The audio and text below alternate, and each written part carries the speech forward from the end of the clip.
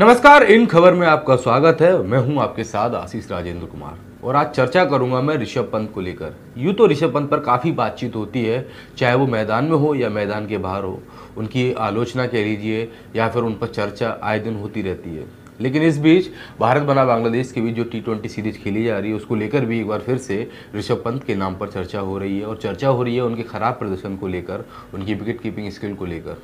ऐसे में बीसीसीआई के अध्यक्ष जो हाल ही में बनाए गए हैं, सौरभ गांगुली से यह सवाल पूछा गया कि क्या ऋषभ पंत को और मौके देने चाहिए या फिर जो धोनी की कमी है टीम को, वो खल रही है?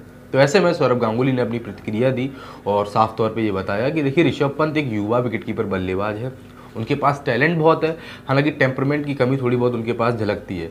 लेकिन जिस तरीके की उनकी स्किल्स हैं या जिस तरीके का उनका खेल है, उसके हिसाब से वो एक बेहतरीन बल्लेबाज हैं, एक बेहतरीन विकेट कीपर हैं। और उन्हें काफ़ी समय लगेगा अभी अपने खेल को निखारने में, क्योंकि एक टीनेजर होने के नाते उन्हें लंबे समय तक क्रिकेट खेलना होगा तब जाके उनको इतना अनुभव आ पाएगा कि आखिरकार किस सिचुएशन में कैसे बैटिंग करनी है और किस तरीके से अपनी विकेट कीपिंग जो स्किल्स हैं, उनको सुधारा जाए। तो जब सौरभ गांगुली की ओर से ऐसा बयान सामने आता है तो साफ़ तौर पर नज़र आता है कि जो टीम इंडिया मैनेजमेंट है, वो अभी ऋषभ पंत को काफ़ी मौके देना चाहती है। साथ ही साथ, ऋषभ पंत जितने उम्दा खिलाड़ी हैं, वो चाहते हैं कि उनको थोड़ा समय मिले, ताकि आने वाले टी ट्वेंटी वर्ल्ड कप को ध्यान में रखते हुए ऋषभ पंत जैसे धाकड़ बल्लेबाज को टीम में अच्छी तरीके से जगह बनाने के लिए प्रतिबद्ध किया जाए। साथ ही साथ, उनको जो लगातार मौके दिए जाएँगे, उसके साथ ही उनका खेल भी सुधरेगा और उनको अनुभव भी काफ़ी मिलेगा।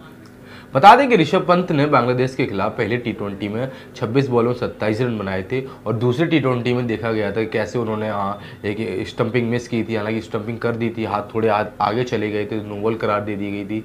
तो उसके बाद थोड़े दबाव में वो महसूस हुए, लेकिन उसके बाद उन्होंने एक रनआउट किया, एक स्टम्प किया, जिसकी वजह से उनका दबाव कम हुआ।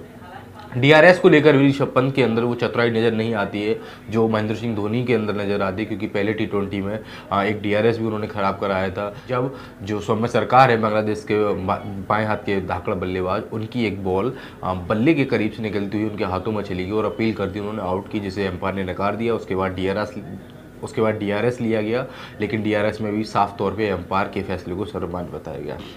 तो ऐसे में गांगुली ने जिस तरीके से कहा है कि ऋषभ पंत को लगातार मौके दिए जाएँगे और वो टीम के साथ अच्छा खेलेंगे, जितना वो खेलेंगे, उतना वो सीखेंगे। लेकिन एक दूसरे विकेट कीपर बल्लेबाज और है, भारतीय टीम में संजू सैमसन, उनको आखिरकार कब मौका मिलेगा, ये सवाल है। खैर, अगर आपको वीडियो अच्छा लगा तो इसे लाइक करें और चैनल इन खबर को सब्सक्राइब करना बिल्कुल ना भूलें। धन्यवाद। इन खबर चैनल को सब्सक्राइब करें और बेल आइकन दबाना ना भूलें।